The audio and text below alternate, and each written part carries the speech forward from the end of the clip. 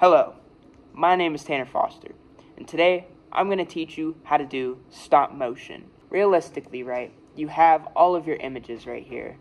Yeah, I took a lot of them. There, oh man, there's 174 here. Oh wow. So you open up Premiere, you got a blank folder here, you got a blank everything, blank slate.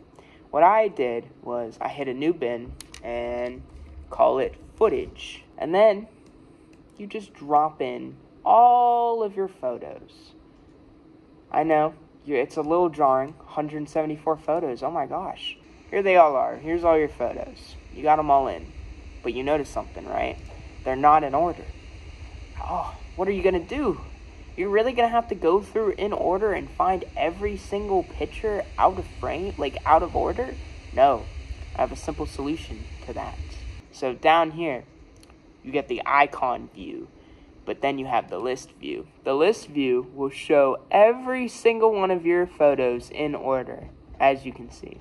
I took these images on my phone, so that's why it says um, in HEIC um, file, but it'll work no matter what file. If you just click the top one and then scroll all the way down to your bottom one and hit shift, you shift click, and then just drag it into the timeline, boom, you got all of your videos, well, all of your photos in one. But the problem is, they're really long to be stop motion. Look at these. Each one's five seconds, I believe. So, I have a solution for that. Highlight all of them. You right click. You go to speed duration. You just take it down. I like to go to two seconds. And then you hit OK. And then, yeah. Oh, fuck. And then you just ripple delete between every single one of these. There's probably an easier way to do this. Okay, I've ne- I've reached the end. So here it is. You have all of them together in one timeline. And then you just watch it. Oh no. Two seconds was too long. These things happen. Two seconds is long. yeah, Wait, Ripple Edit. What is this? 24. Oh!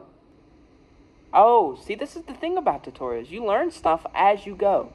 So, scratch everything I just told you. If you right click and you do the speed duration, it shows the duration right here, and you can change it, blah, blah, blah. This is your thing.